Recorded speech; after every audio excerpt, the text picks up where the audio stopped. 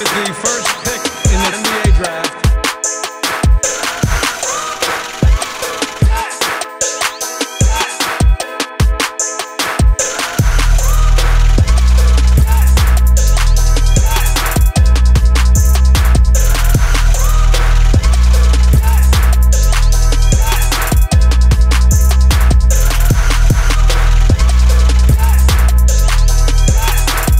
He's a, he's a